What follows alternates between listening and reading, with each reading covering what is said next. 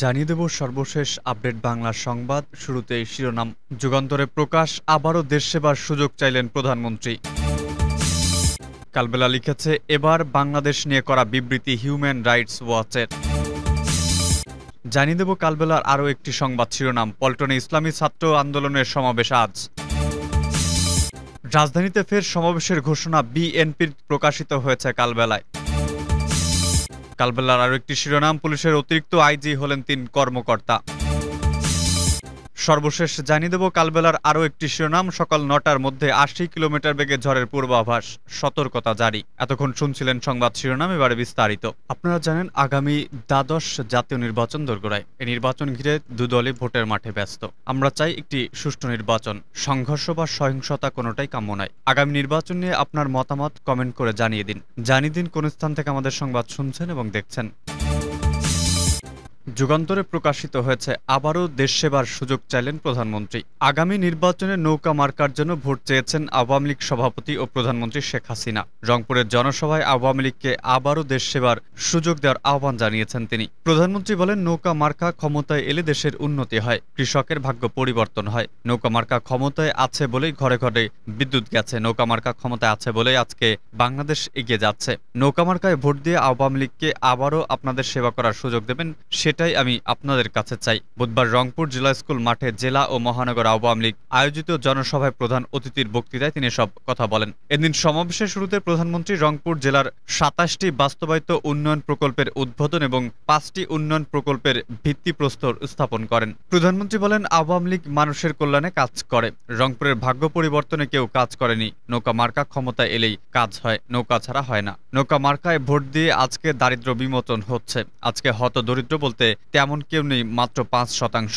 আল্লাহর রহমতে সেটুকু থাকবে না, কোনো মানুষ হতদরিদ্র থাকবে না। শেখ হাসিনা বলেন, বাংলাদেশের মানুষ, বাংলাদেশের জনগণ, আমার আপনজন, আমার সংসার। আপনাদের মাঝে খুঁজে পায় আমার বাবার স্নেহ, ভাইয়ের স্নেহ, বোনের স্নেহ। আপনাদের জন্য যদি প্রয়োজন হয়, বাবার মতো জীবন দিতে প্রস্তুত আছি। মানুষের ভাগ্য উন্নয়নের জন্য জীবন দিতে প্রস্তুত আমি। রংপুরের উন্নয়নের কথা তুলে ধরে তিনি বলেন, লালমনিরহাটে Bangabandhu Sheikh Mujibur Rahman aviation and air space বিশ্ববিদ্যালয় করে দিয়েছে। সেখানে গবেষণা হবে। একদিন আমাদের দেশের মানুষও চাঁদে যেতে পারবে। প্লেন বানাবে, ধরনের শিক্ষা সেখানে দেওয়া হবে। আওয়ামী লীগ সভাপতি বলেন, আওয়ামী লীগ সরকার ক্ষমতায় আসার পর রংপুরে আর মঙ্গা আসেনি। নৌকায় ভোট দিলে উন্নয়ন হয়, সেটা প্রমাণ করেছে। কৃষকের আর সারের জন্য আন্দোলন করতে হয় না, অথচ খালেদা জিয়া সারের জন্য কৃষককে গুলি করে হত্যা করেছিল।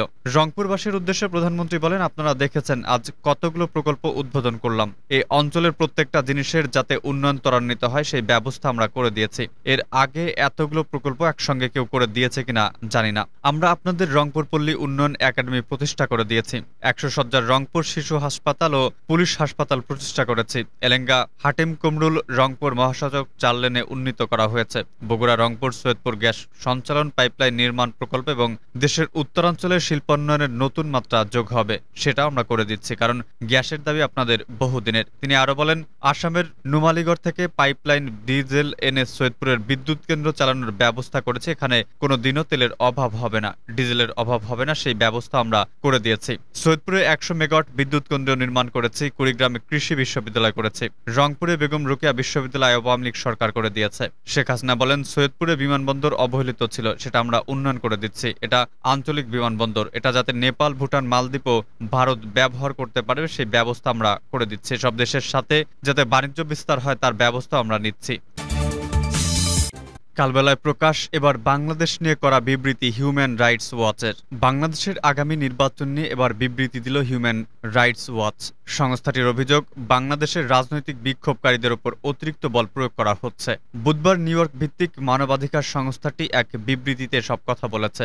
বিরোধী নেতাকর্মীদের গণহারে গ্রেফতার করা হচ্ছে উল্লেখ করে এইচ আর ডব্লিউ বিউ বলেছে, এতে অবাধ ও সুষ্ঠু নির্বাচনের পরিবেশ ক্ষতিগ্রস্ত হচ্ছে। এইচ আর ডব্লিউ এশিয়া বিষয়ক উপপরিচালক মীনাক্ষী গাঙ্গুলি বিবৃতিতে বলেছেন, বাংলাদেশের রাজনৈতিক বিরোধীদের ওপর পরিচালিত দমন অভিযানকে নির্বাচন গণতান্ত্রিক না হওয়ার সতর্ক সংকেত হিসেবে দেখা উচিত হবে আন্তর্জাতিক পর্যবেক্ষকদের।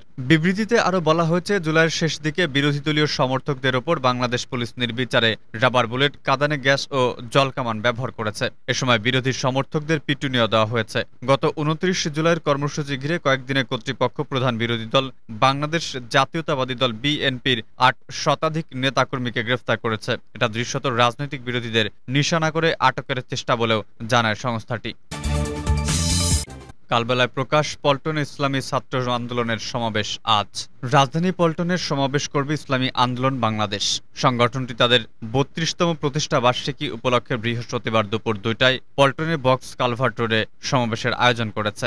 সংগঠনটি প্রথম শাহবাগ চত্বরে প্রতিষ্ঠা বার্ষিকী অনুষ্ঠান করার অনুমতি চেয়েছিল।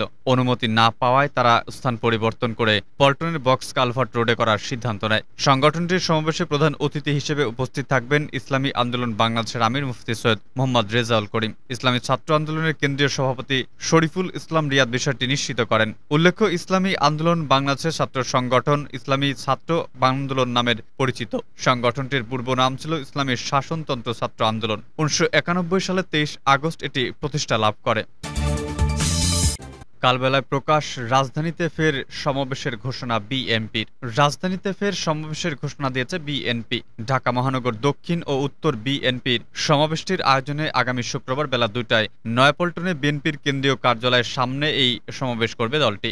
বিএনপির ভারপ্রাপ্ত চেয়ারম্যান তারেক রহমান ও তার স্ত্রী জুবাইদার রহমানকে দণ্ড দেওয়ার প্রতিবাদে এ সমাবেশের ডাক দেওয়া হয়েছে। বুধবার ঢাকা মহানগর দক্ষিণ বিএনপির আহ্বায়ক আব্দুল সালাম সাংবাদিকদের কাছে এই কর্মসূচির কথা জানান। তিনি বলেন, কিসের এত ভয় তারেক রহমানকে তার প্রতি ভয় থেকেই এমন প্রতিহংসামূলক ফরমাইশে রায় দেওয়া হয়েছে। আমরা এই রায় মানি না। এই রায়ের প্রতিবাদে আমরা আগামী শুক্রবার কেন্দ্রীয় কার্যালয়ের সামনে বিক্ষোভ মিছিল সমাবেশ করব। এর আগে অবৈধ সম্পদ অর্জন ও সম্পদের তথ্য গোপন দায়ে বিএনপির ভারপ্রাপ্ত চেয়ারম্যান তারেক রহমানকে নয় বছরের কারাদণ্ড দিয়েছেন আদালত। একই সময় একই মামলায় তার স্ত্রী ডাক্তার জুবাইদা রহমানকে তিন বছরের কারাদণ্ড দেওয়া হয়। আজ বিকেলে ঢাকা মহানগরের জ্যেষ্ঠ বিশেষ জজ মোহাম্মদ আসাদুজ্জামানের রায় ঘোষণা করেন। কারাদণ্ডের পাশাপাশি তারেককে তিন কোটি টাকা জরিমানা করেছেন আদালত। জরিমানা পরিশোধে ব্যর্থ হলে তিন মাস কারাভোগ করতে হবে। আর জুবাইদাকে পঁয়ত্রিশ লাখ টাকা জরিমানা, অনাদায়ে আরও এক মাস কারাভোগের আদেশ দেওয়া হয়েছে। তারেক রহমান ও জুবাইদা রহমান পলাতক থাকায় তাদের বিরুদ্ধে সাজা সহ নতুন করে গ্রেফতারি পরোয়ানাও জারি করা হয়েছে। প্রসঙ্গত রাজধানী সোহরাওয়ার্দী উদ্যানে গত সোমবার জনসমাবেশ করে বিএনপি। কালবেলায় প্রকাশ পুলিশের অতিরিক্ত আইজি হলেন তিন কর্মকর্তা। পুলিশের উপমহাপরিদর্শক পদমর্যাদার তিন কর্মকর্তাকে পদোন্নতি দিয়ে পুলিশের অতিরিক্ত মহাপরিদর্শক করা হয়েছে। বুধবার স্বরাষ্ট্র মন্ত্রণালয়ের জননিরাপত্তা বিভাগের সিনিয়র সহকারী সচিব মোহাম্মদ মাহবুবুর রহমান শেখ স্বাক্ষরিত প্রজ্ঞাপনে তাদের ডিআইজি থেকে গ্রেড টু এ পদোন্নতি দিয়ে অতিরিক্ত আইজিপি করার কথা জানানো হয়। তারা হলেন টুরিস্ট পুলিশের অতিরিক্ত আইজি চলতি দায়িত্বপ্রাপ্ত হাবিবুর রহমান, জাতীয় গোয়েন্দা সংস্থার পরিচালক ডিআইজি সেলিম মোহাম্মদ জাহাঙ্গীর এবং ময়মনসিংহ রেঞ্জের ডিআইজি দেবদাস ভট্টাচার্য। এই তিনজনকে নিয়ে বর্তমান পুলিশের অতিরিক্ত মহাপরিদর্শক হলেন বাইশ জন, প্রজ্ঞাপনে বলা হয়। জনস্বার্থে এই আদেশ যোগদানের তারিখ থেকে কার্যকর হবে। পদোন্নতিপ্রাপ্ত কর্মকর্তারা যথাযথ কর্তৃপক্ষের মাধ্যমে যোগদানপত্র প্রেরণ করবেন এবং পরবর্তী পদায়ন না হওয়া পর্যন্ত শপথে বহাল থেকে দায়িত্ব পালন করবেন।